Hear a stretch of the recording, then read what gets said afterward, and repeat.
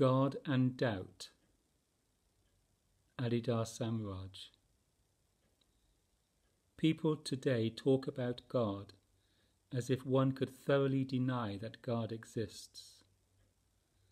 The puzzlement about whether or not God exists is not a true question at all. There is no genuine doubt that God exists. Obviously, you did not create yourself, nor can you sustain yourself independently, nor can you spontaneously uncreate yourself. You can only be confused by illusions of doubt, and these illusions can create the sense of separation from the living divine.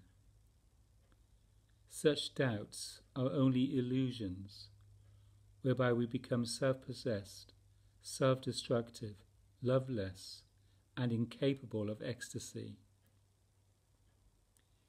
We are lived. We are part of a great process that is ultimately mysterious, a process in which we do not know. God, or the inherent and transcendental reality, clearly exists.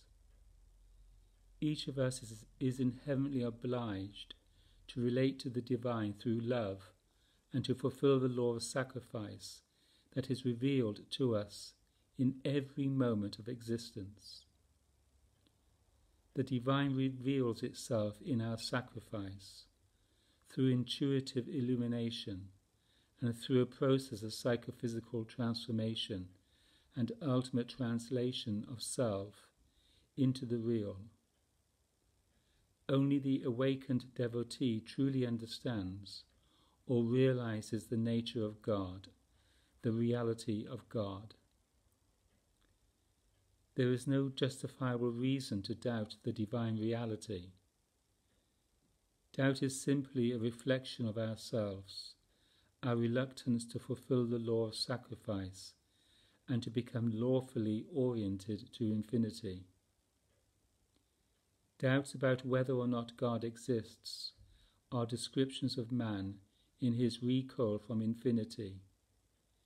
Impenetrable doubt cannot be logically justified in the midst of things. Concepts or beliefs about God may be doubted, but that which is divine and eternal is always perfectly obvious, and therefore inherently beyond the conventional disposition we feel as doubt. You are always capable of doubt because doubt is a condition of yourself. It is a form of contraction. And when you involve yourself in contraction, you become mad, neither relational nor ecstatic. You have no clarity, no understanding, no capacity to transcend your own reactivity and isolation.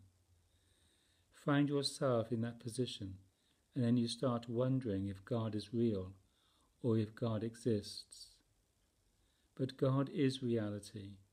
God is existence. The mind may know doubt, but it cannot know what God or reality or existence is. The divine is therefore beyond knowledge and doubt, which are only ordinary conventions of mind and experience.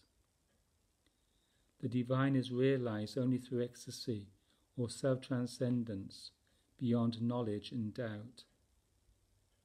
The living God may be neither doubted nor known but only realized. God may only be loved. Therefore, hear the critical argument of this way of radical understanding or divine ignorance. Through awakening to the intuition of the divine, the unprovable and undoubtable divine is simply tacitly obvious. God is simply reality. God is the process of existence altogether and God ultimately transcends the process and the manifestations of all manifest experience. March 23rd, 1978.